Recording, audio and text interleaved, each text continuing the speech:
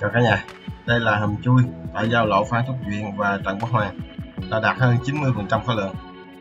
Đây cũng là điểm đầu của dự án đường nối Trần Quốc Hoàng với Cộng Hòa.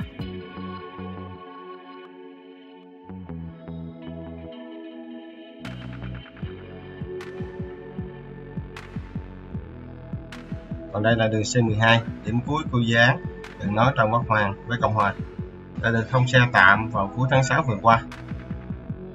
Tuyến đường này đi ngang nhà ga T3 của sân bay Tân Sơn Nhất, nên chắc chắn sẽ có lượng xe cộ rất lớn đi qua đây. Do đó, từ bây giờ nhiều người đã bắt đầu lo lắng cho tình trạng giao thông ở chỗ mũi tàu Trường Chinh Cộng Hòa và đường C12 này sẽ còn kẹt xe khủng khiếp hơn nữa trong tương lai. Do đó, gần đây có nhiều người quan tâm đến giao thông của thành phố và các cơ quan chức năng đã bắt đầu nghiên cứu các phương án để giải quyết tình hình giao thông ở nút giao này.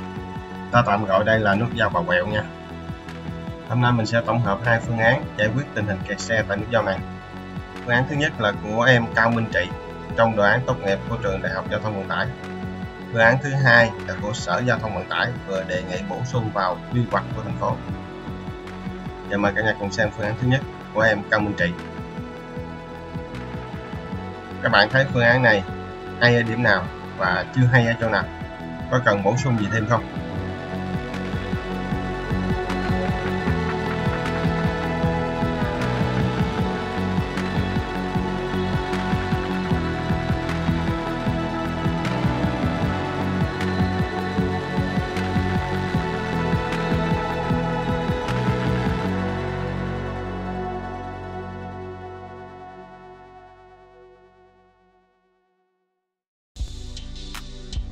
Giờ tôi xem tiếp phương án thứ hai của Sở Giao thông Vận tải.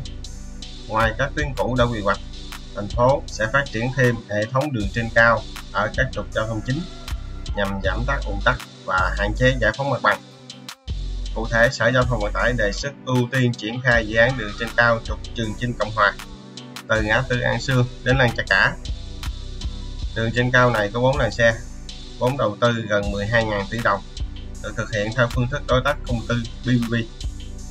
Theo Sở Giao thông Vận tải, thì dự án này hoàn toàn mới nhằm đồng bộ với dự án mở rộng quốc lộ 22 lên 60m. Tuyến đường trên cao Trường Chinh Cộng Hòa dự kiến sẽ sử dụng mặt bằng giải phân cách giữa đường Trường Chinh và Cộng Hòa, giúp giảm chi phí đền bù, hạn chế gây xáo trộn đời sống người dân do ít giải phóng mặt bằng.